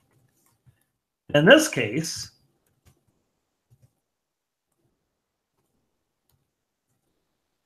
the first thing in the list isn't A. Okay, that's that's the assumption. That's what that's what you get with the scheme code. We're saying the first thing in the list is not equal to X. Right? That's what that test is about. Uh, so here, the first thing in, in, the list is equal to, to X, and the first and here, the first thing in the list is not equal to X. So we have to be able to express that. And without the disequality constraint, we don't have any way of expressing this, this notion that, uh, that the car of, of L is not equal to X. So that's why we need it. And that's why we get rid of that duplicate extraneous incorrect answer when we add the disequality constraint. Okay, so the, this notion of a disequality constraint is very important for us to to be able to, to express these sorts of problems and to do things like translate scheme code into miniKanren code in a way that makes sense and preserves the behavior. Uh, so every once in a while, we'll have to have to use a disequality constraint. So, um, and and I, also point out that disequality constraint is a very weak constraint. Dis disequality constraint is not the same as having not in the language. Like in scheme, we have not. So we can do not null, not equal, that kind of thing. Uh, not is a very powerful operator. That can negate an entire predicate or entire extremely ex uh, complicated expression. The only thing disequality constraints can say are two values or two terms that might contain logic variables are not the same. It's much, much weaker than doing a not on a predicate or a not on a function call or a not on an arbitrary expression. It's a very, very weak notion of negation. Very weak. Um, and that's why it's useful, actually, is because it's so weak, it turns out. Because if it's if it were a really complicated, really sophisticated notion of negation, then we could get into trouble with the decidability or the complexity of the operator and that kind of thing. Equal slash equal will search until exhausted. Nope, it doesn't do any search at all. That's why it's so nice. It's so simple. It doesn't do any search at all ever. Doesn't do any search. miniKanren does search, but many but uh, this particular so unification never does search and this quality constraint never does search. That's why it's so beautiful. If we made it more powerful, then it might have to do search. But we kept it weak, so it doesn't have to do search. It can always decide very quickly whether or not two terms are equal or not equal. And then it basically will keep around that side condition information. Remember we were looking at these side conditions? So if we do a disequality constraint, and we have the side condition around, what ends up happening is a disquality constraint will partially solve this disequality, and then it will also keep around any side condition information, and that information keeps getting kept will, will be passed around through miniKanren to see if it ever becomes violated. And if so, then you fail. But if not, you know, so miniKanren will do a search behind the scenes. Uh, but by just passing along the constrained information, these side conditions, and and and simplifying the side conditions as we go, uh, we can tell whether or not we're going to succeed or fail at any given time. And then maybe we have to do other things in the search. But but the point is that particular operator, this quality constraint, doesn't by itself do any search. And Canron has a search, but neither disequality constraints nor equal equal do any search. In fact, none of our constraint operators um, that we are going to see for the interpreter, for the basic interpreter, do any search at all. When you get into finite domain constraints to do arithmetic, then it's a little, those constraints are a little more subtle. And there, there's sometimes a little bit of a search that has to go on behind the scenes just to prove that there an answer does exist. But in general, none of our constraint operators do search, which is, you know, it's a little subtle. So there is a search in miniKanren. miniKanren's searching for answers, but the search is because, I mean, the reason we have this big search is because our relations can be recursive like this, right? And we can be making choices. So this the, the search is at the level of the time the choices among Conde clauses, if you want to think of it that way. Conde is what causes the search to branch out. But the individual constraint operators don't cause the search to to branch out in any way until you get into arithmetic or that kind of thing. Uh, there's certain arithmetic things. Uh, it'll just pick the next, next best value. No, it doesn't. It doesn't like randomly pick a value. If you're talking about like disequality constraints or equal equal, um, it picks a representation of all possible values that can be satisfied. That uh, that's abstract so that you can maybe represent infinitely. Okay, so here's an example. This is why you have to be really careful when you pick your constraints also. Let's, let's just look at one example here where we have x and y.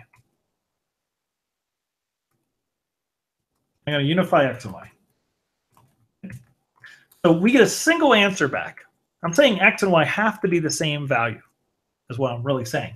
Okay, and get a single answer back, and you can tell from that answer, from the numbers, that x and y have to be the same value. Now, let's think about it. I could be explicit about it, or miniKanren could be explicit about it. What it could say is that, hey, x and y have to be the same thing. Well, guess what? Zero and zero are the same thing, which is true. Those are the same. And one and one are the same thing. And two and two are the same thing. And it could enumerate all the infinitely many integers that are the same. And it could also say the hash t and hash t are the same. And it could also start doing lists. It could say the list ABC and the list ABC are the same, right? So there are infinitely many values in, in our subset of scheme that we handle in miniKanren with unification that are the same. And, and you could imagine doing a search that enumerated all the infinitely many one of those. But we don't want to do that. We want to avoid that if at all possible. No, it's not a silly question. It's a very important question. The whole point of what we're doing is, and, and the reason disequality constraint is important, is to avoid uh, avoid doing search. It's actually the opposite. It, it allows you to avoid doing search. So for example, um, so what's the best way to do it? What's the best way to show this? okay, okay, so here's an example. Say you didn't have disequality constraints, right? and um, and I wanted to say, okay, so right now I can say that Q, you know, is not the list uh, ABC. All right. So now I just get back this one constraint, one constrained answer saying, you know, Q could be anything as long as it's not the list ABC. How would I express that notion in just regular miniKanren? a Q can have any value other than be the list ABC. The only possible way it could do it, so say even just restricted the value to list. I know Q is a list and Q cannot be ABC, okay? The only way I could do it is to enumerate every single possible list other than list ABC. So I would have to try unifying Q to the empty list and all the lists of length 1 and all lists of length 2, and all lists of length 3 except for list ABC, and in all lists of length 4 or greater, that kind of thing. I would, I would have to enumerate infinitely many lists to express the same notion that, hey, I have a list that's not the list ABC. So it's actually when you don't have disequality constraints that you have to do search to express certain notions. So it turns out over and over again that having disequality constraints allows us to avoid either having a search uh, that produces infinitely many values, or at least a large finite, potentially large finite number of values, or we have to play all sorts of representation games with tagging and untagging and, and, and be very clever at the representation level. And often the code gets messy and it's hard to read. So disequality constraints actually allow us to say of all the infinitely many values that we're talking about, or potentially large finite number of values we're talking about, this particular value doesn't hold. So we don't have to enumerate all the values. So so it allows us to avoid a search. So it's it's a little bit subtle. Okay, I mean it's quite a bit subtle actually, and uh, we'll we'll see other examples of it. But you know we didn't have uh, quality constraints for a long time in Minikanren, and it made it really hard to to express things like this uh, this membero. You know, there's a version of membero in the Reasoned Schemer called surpriseo, and it's a surprise because you get these answers, extra answers you didn't care about, or didn't expect, or shouldn't get. And so that's the surprise, but it's a bad surprise because we don't really show you how to fix it. The way to fix it is has things like disequality constraints, uh, but we don't know how to explain those in the book. They're too complicated. So maybe maybe we'll have another book we explain them in. But right now, it's so complicated to explain how to implement disequality constraints. The, the idea of disequality constraints, I don't think are particularly hard, but to explain how to implement them, it's more complicated. The, you just need more mechanism than we have in the simple implementation of Minikanren in the book. It's not incredibly complicated, but it's more complicated to add all the infrastructure you need to, to support those constraints. So that's why we've left it out of the book. And, and we've gone back and forth on this decision many times, but but anyway, disequality constraints are your friend, and you'll find that there are lots of uses for them. And we'll see a couple other constraints that come up that are similar to disequality constraints. Uh, and, and we'll see them a few times, and then eventually I think you'll kind of get the hang of them. But they take a little, a little getting used to. But basically, it tells you, it allows you to express that a particular value, we're not going to allow that particular value. That's it. And in this case, you know, we know what the car is, then a car of L, and we know what x is, and we want to say those two values are not the same. That's it. So it's a very limited notion of, of negation or two things being different that we're going to express. Okay, so now we have a working version of Membero. And, you know, because we're in conv land, swap our clauses any way we want. Okay, so here I am, I'm reversing the clauses.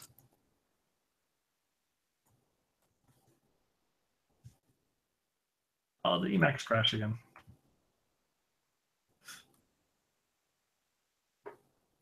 Come on, Emacs, you can do it. Why not? All right. So let me start my Emacs again. This, these are these are good questions, and um, you know, disequality constraint. Uh, I reinvented the notion of disequality constraint uh, so someone on my committee said, "Well, I reinvented the notion that the sun rises in the east." you know, it's like okay, point point well taken. Um, but anyway, I did come up with it sort of on my own out of desperation, trying to solve some of these problems. And it turns out, of course, that that people had known about this a long time. In fact, you know, some of the earliest versions of Prolog, if not the earliest version of Prolog, had this. And since then, we we've introduced some other constraints that, as far as I can tell, there's one constraint in particular we have called Absento that, as far as I tell, no one else has in their system, and that turns out to be important and useful for a particular problem we have when writing relational interpreters uh, that we'll we'll see at some point. Um, but we also have some type level constraints. We have finite domain constraints that off of uh, other people. So you know, most of these ideas are, are, are old.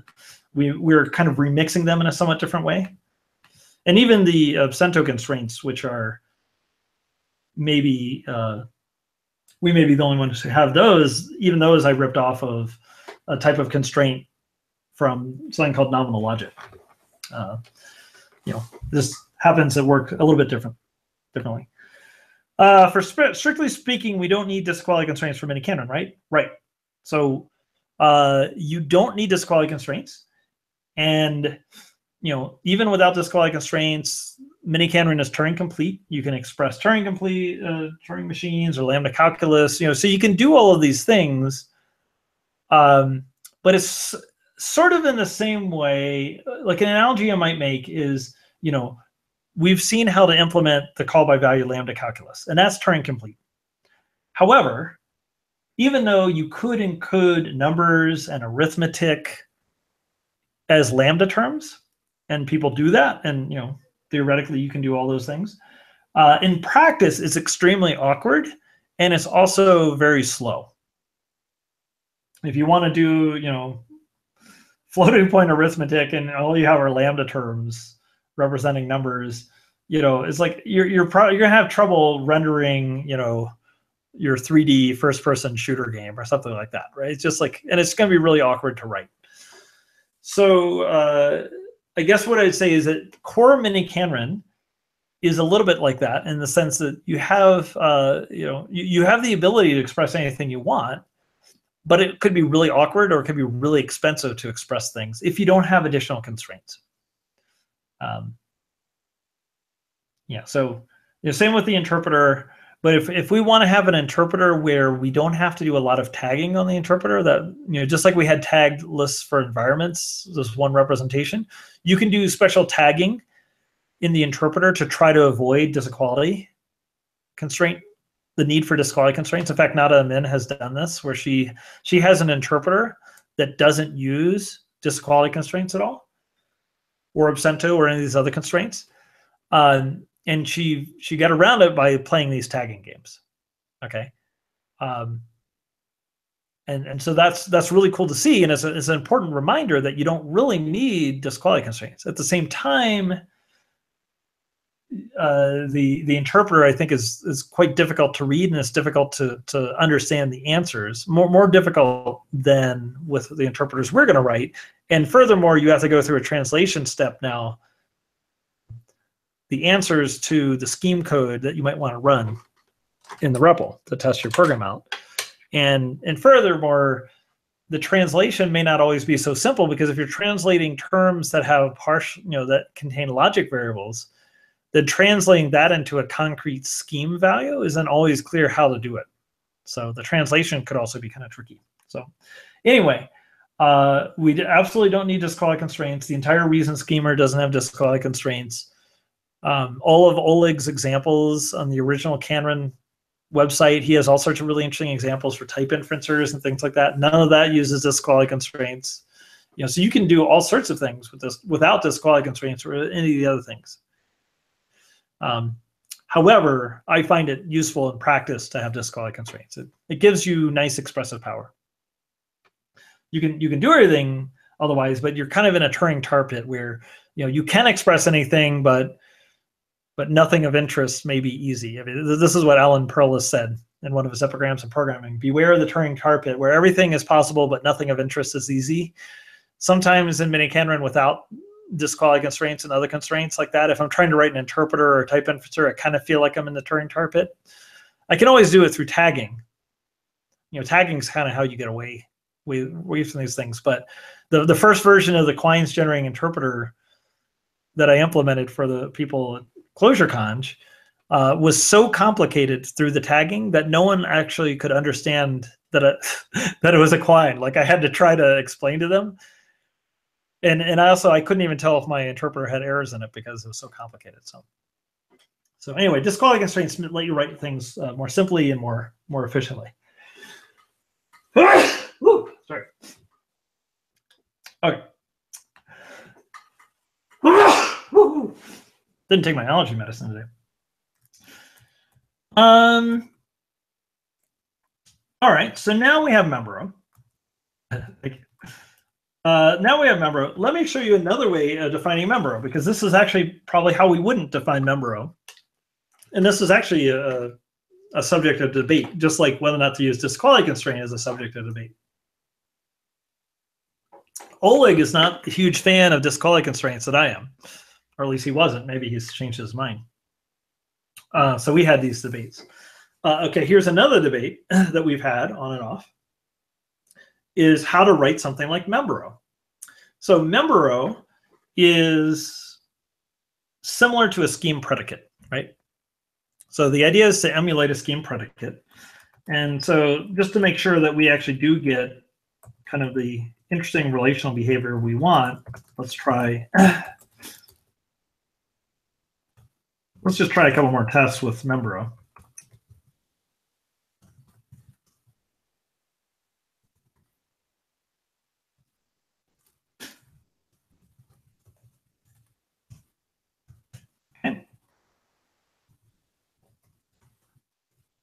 Okay, so now I could say that x is in list, and now I can infer x. Right? And so now I get three values back. And of course, those are the things in the list, which makes sense. Uh, or I could say, I want y to be in the list. Now I better not do a run star. But here's one answer. So here's a list that contains y. Is there's a list, there's a pair y dot anything. Have to be a proper list. So then you have to be a yeah, could just any pair that begins with y. Here's the second answer. Second answer is interesting. So here we're saying, here we have, you know, uh, possibly improper list, and it begins with some some value, and we don't know what that is, but we have a side condition saying that's not y. So this is where disequality constraints come in. So we're saying we have something that's not y, followed by y, followed by anything. Okay? And we could do, you know, 10 of these, and it's just going to show us more answers like that. So here's, you know, you can see that we're just going to get more and more different values, all of which have the side condition that they're not y. So, we, so sure enough, we have a, a relation. We can start playing these games by by putting in the, the third argument being being ground. We can go the other way. We can say, you know, uh, give us some lists that don't contain y. okay, so here are three. Uh, whoops, here are three lists that do not contain y. And the first is the empty list doesn't contain y, of course. Here's a list of one element where that one element isn't y. Here's a list of two elements potentially different where those elements aren't y. Okay, so we can we can play these games. Now they may not be particularly interesting in the case of membero, but we can play these games where we say, you know, we want that x to be in a, uh, in the list L, or or hash t would uh, if if x and L is hash t, then we're saying x should appear in L, and if x and L is hash f, then x should not appear in with an L, right? Okay, so that's one way we could write membero. But another way we could write membero is to instead of explicitly talking about whether or not x occurs in L, we could use success and failure instead as a sort of a proxy. So if a call to membero succeeds, then X is an L. And if a call to membero fails, then X is definitely not an L. And I'll show you how we might define that version. I'll do it from scratch.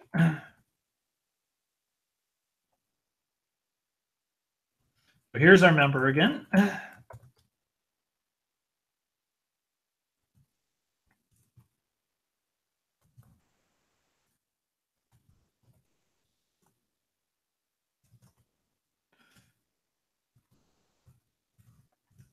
Now, unlike last time, I'm only going to have two arguments, x and l.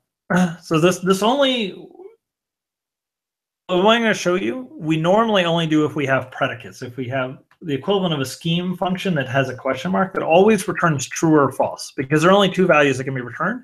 Because there are only two values that can be returned, we can encode those as success and failure. Success represents true, failure represents false. And we can see there's some trade-offs. Whether or not one is better than the other, I think it depends on the context. Oleg seems to prefer this way of doing it. Uh, I sometimes I prefer this way, uh, and it does have some advantages over the other way we've done it. Otherwise, you know, just just depends on what I want to do. Okay, so here, do you see in the first clause where we return false? Well, if we write the code this way, anytime you would re return false in the scheme version, you would just fail. We're just going to fail. So in this case, if L is the empty list, then we fail. And what is failure? Well, you know, we could either define something called fail, or we could just do something like unify five and six. Okay, so we could define fail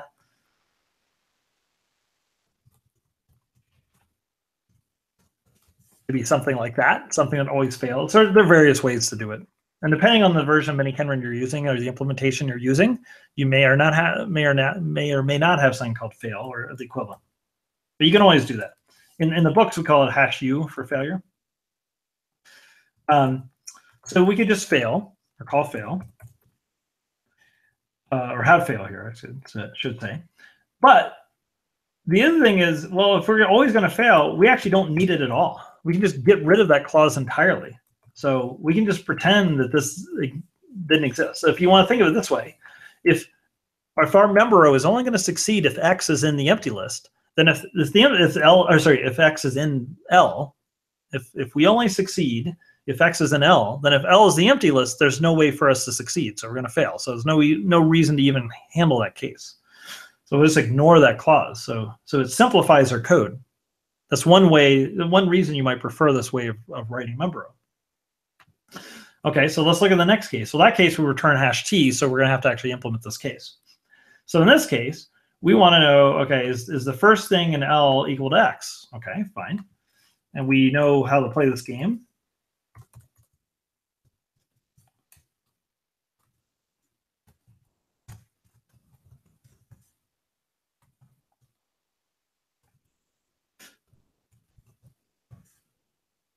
Okay, and if that's the case, we just succeed.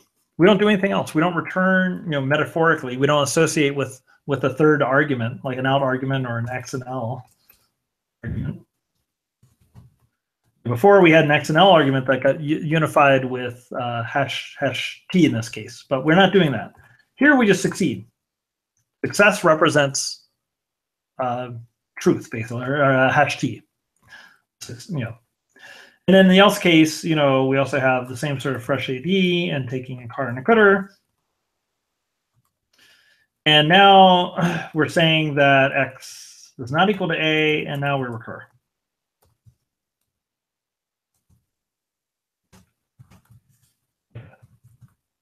So that's what our member would look like.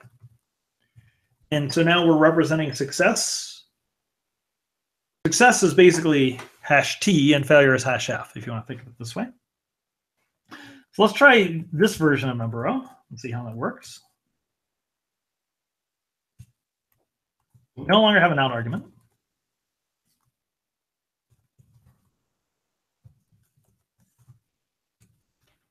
Does y occur in ABC? No, it doesn't, and it just failed. Does A occur in ABC? Yes, it does, and L or, or query variable q, I'll call it q. Uh, it could be anything, okay? And does A occur in A, A, B, C? Yeah, it succeeds, but only succeeds once. You know, we got one success and that's it, we're done. Okay, so so here we're not getting back hash t and hash f, or, or hash t and hash f are not you know associated with the third argument of the call. Um, here we're just succeeding or, fa or failing and sometimes that's all you need because maybe you're you're making this call to membero as like a guard within an interpreter you're writing as a relation or something like that and you only care about success or failure. You don't actually care about hash t or hash f. But notice we have lost some some flexibility because before we were able to run these queries where we would do things like say you know uh, give me the lists give me lists for which y is not an element of the list. You know, we've lost the ability to express that sort of computation. But our code is shorter, and we didn't have to play around with the third argument. This might be more efficient in some cases. Uh, the other thing is we often can can simplify this code to make it much more uh, efficient, or much, sorry, much simpler. So there, there are a few optimizations we can do here. So for example, um, notice in each each of the clauses we're doing a fresh AD. We have to we're using AD as new logic variables, right? Uh, and, and in each case, we're taking the cons of AD and unifying that with L. Well, we can simplify the code by lifting the fresh AD out top, outside of the conde. And furthermore, the cons AD to L, the unification happens in both cases, so we can lift that out as well. So that's equivalent to this code. Okay, so we lifted the fresh and the unification out. This fresh nil, fresh no arguments, that's not necessary. That can just be replaced with the single unification. Uh, same down here. Because a conde clause has implicitly a fresh nil in it. So that's the code we end up with, which is much shorter and easier to read, I think, than the other code. So, you know, so that's a nice, short, simple definition of member Uh, that's nice, nice, easy to read, is quite efficient, all those sorts of good properties. Okay. Uh, so that's that's a decision you have to make when you're right when you're translating a predicate, something that only returns true or false, from Minikanren or from scheme into Minikanren. Do you want to have an explicit third argument that represents sort of the the output or whether that X occurs within L, or do you just want to succeed or fail and have that representing either hash T or hash F? And that's up to you. That's that's a decision you get to make. Um, in the book, we always do it this way. We always have have this version that either just succeeds or fails. And it really depends on what you want to do, which version is more appropriate. Uh, I usually will write predicates this way. And then sometimes it'll turn out that uh, I want a little more expressive control and I'll add the third argument. But this is only for predicates. This is only for things that only only return hash t and hash f. If you return values other than hash t or hash f, you're going to want to have something that's metaphorically equivalent to the output argument, just like with we did with the other version of membero, like this. So, that that shortcut I showed you is really just for predicates. Okay, so that's member and membero and why you want disequality constraints, a little bit about that. Uh, and the fact that you can write a, um, a predicate in different ways, depending on whether or not you want the, uh, you know, want the extra expressive power or whether you would prefer to model success as, you know, truth is success, false is failure, and have a simpler definition. Up to you. Uh, let's see. Yeah. So I, I feel like uh, this is a lot. And before I get into the next definition, I think maybe this is a good place to take a break. I don't know. I don't. I don't want to get, you know, because the next thing we do is going to be um, a non-predicate. You know, so so I, I, sort of went over append quickly and appendo, but I didn't get into sort of all the details. We've seen a lot of it. We've seen about how how you have have to be very careful with the guards or the tests in the cond when you're translating this into a conde, right? So that that we've definitely understood.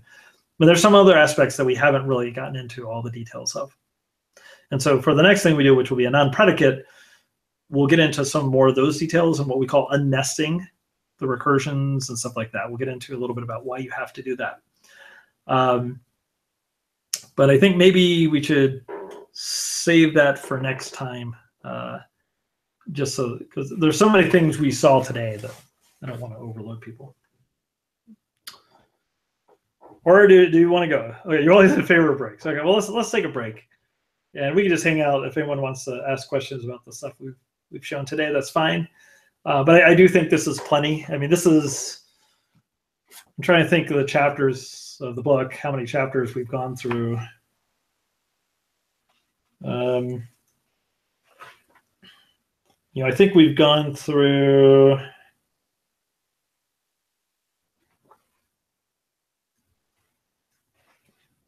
Yeah, we've basically gone through chapter three of the book now. Yeah, we've gone through like the first three chapters of the book of Minikanren. Um, and this is not, you know, this isn't simple stuff. So if you find it, tricky, don't be surprised, and you have to think about it and play around with it. And of course, you know you, you're not really going to get to know this until you or define your own definition. So one thing you could try is defining your own predicates. Okay, so we did we did member, um, but try doing some other list-based thing that doesn't involve numbers or arithmetic. Let's not mess around with that yet. But but something involving number, oh sorry, lists. You know, so uh, you know, so we did basically the something contains something else. But you could do uh, you know, what, what's another good predicate over lists? Um,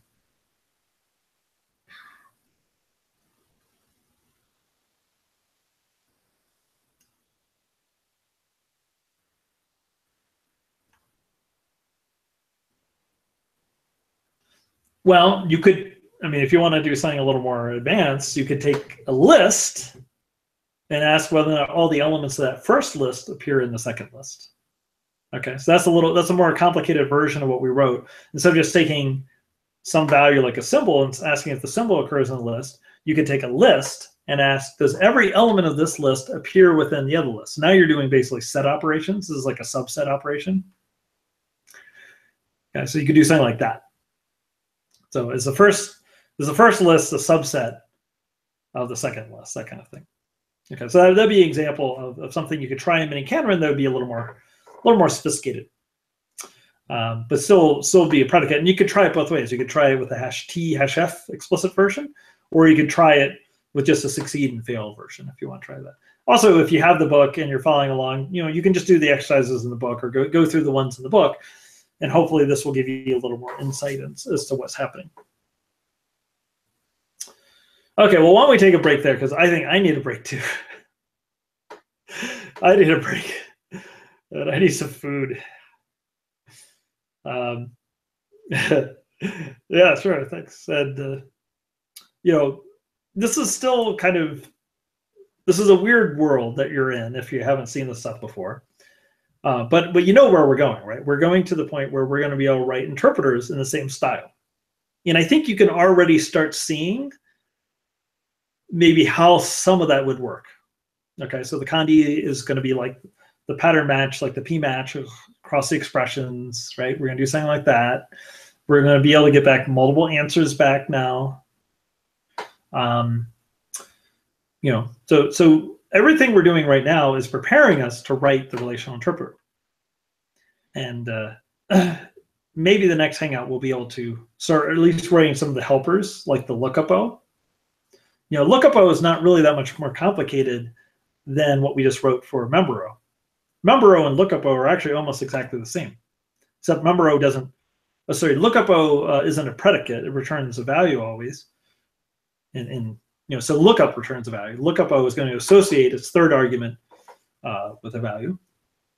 But lookup-o and, and member-o are actually very similar structurally, except one works on association lists. Um, so we're, we're close to the part where we can write things like lookup-o, and once we have that, then we should be able to write the interpreter. So you know, we're, we're not far from being able to write the interpreter. I'm just trying to to bang on the Minikanren stuff a little bit so that it's it's not too mysterious when we get to the relational interpreter. But you know, in practice, you'll probably have to play around with Minikanren for a while to really get a good sense of it if you haven't seen this style of programming. Usual.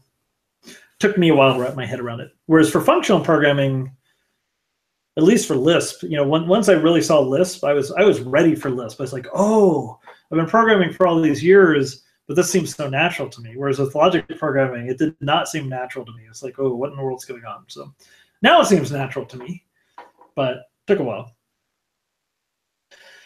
Uh, okay, well let's let's take a break here, and we'll pick up next weekend. And uh, um, if anyone wants to stay around and ask questions. Uh, feel free to do so.